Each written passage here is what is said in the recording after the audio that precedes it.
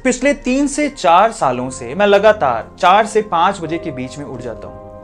सो so, ऐसा क्यों ज़रूरी था? मैंने ऐसा आदत क्यों बनाया? पहले मैं भी नहीं उठ पाता था। लेकिन मैंने ऐसा महसूस किया कि लाइफ में अगर कुछ करना है सक्सेसफुल होना है तो सक्सेसफुल लोग जो काम करते हैं उस रूटीन को फॉलो करना ज़रूरी है। और मैंने बहुत जगह पे पढ़ा बहुत सारे सक्सेसफुल लोग सुबह जल्दी उठते हैं।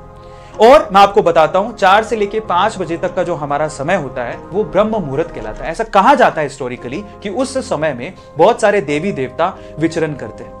चलिए, ये तो यू नो हिस्टोरिकल रीजन हो गया but what about factual reason scientifically ऐसा देखा गया और मैंने भी महसूस किया कि जब हम चार से लेकर पाँच बजे तक जिस भी रूटीन में उठते हैं, उस वक्त में हमारा दिमाग एकदम शांत होता है। नो थॉट्स थॉट्स ज़ीरो इतना शांत कि हमारे दिमाग में कुछ होता ही नहीं है। अब आप सोचिए उस ले, उस पर्टिकुलर समय में हमारे माइंड का कंसंट्रेशन लेवल मैक्सिमम होता है मैक्सिमम आप उस समय में जो भी पढ़ रहे हैं, वो सीधे दिमाग में घुसता है और एकदम छप जाता है, मैंने ऐसा देखा और साइंटिफिक यू नो साइंटिस्ट लोगों ने माना भी है कि सुबह जो भी आप काम वन आवर में करते हैं लेट नाइट में वही काम आप थ्री आवर में करते हैं।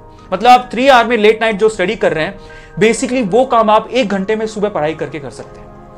तो आप सोचिए आपका डे रूटीन कितना पावरफुल कितना इंपॉर्टेंट है। और सुबह जल्दी उठना आपको और आपके माइंड की कॉन्सेंट्रेशन को बढ़ाता भी है।